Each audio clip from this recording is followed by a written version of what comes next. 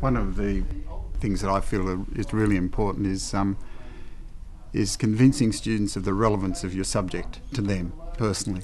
And I spend a lot of time at the beginning of my course, and particularly with engineering studies, um, explaining to the students what is involved in the course and how um, it might lead them somewhere in the future.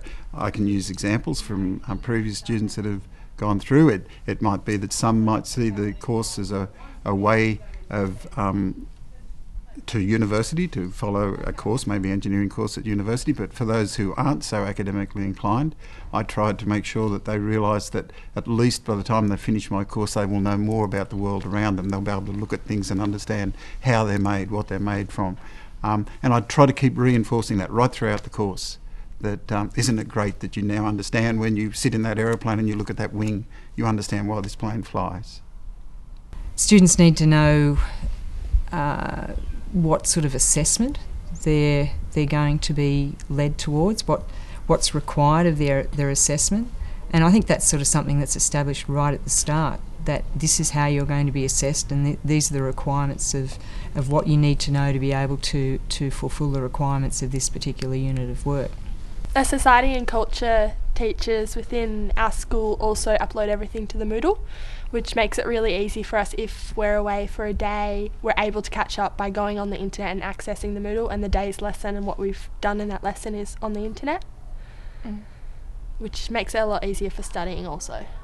Or they're like always open to you coming up to the staff room and if you've been away for a day or something, just coming in and talking to them, or they're always they always put time for you. With the technology as well, like the smart boards that have been installed in the school, I think that's really important in engaging us because we do exercises of um, mind maps and things where we physically get up and write on the smartboard ourselves, which is really good, I think, just to get everybody involved and I think that really helps to stick it in the brain a lot as well. Yeah, and I think presentations like on the smart boards and yeah. that is really helpful as well because I know it feels like you can interact more as well. So yeah, and on the interacting when you can interconnect with other schools, we've been doing that in some of my classes, and it's really good because you get the input of other people, and it's I find yeah. that that really helps because yeah. you get everyone's opinion and I think that's really yeah. That's great with, with English as well, um, especially some of the texts we focus on.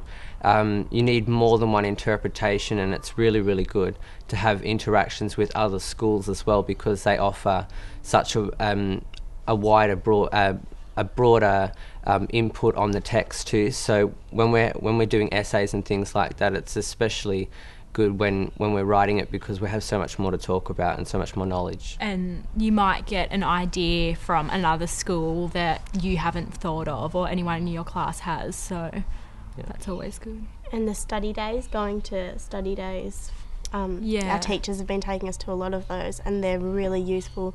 Just getting the feedback from HSC markers and seeing kind of the competition. I think that actually really encourages you. I find the the best thing that teachers can do to stick a lesson in uh, in my brain is to relate it to something in my life or something that just that is just generally interesting uh, because that way it sticks in my brain and that way I can remember it for a long time and I can use it in a test more easily. Usually, um, the more like fantastic the story is, the more it sticks in your brain.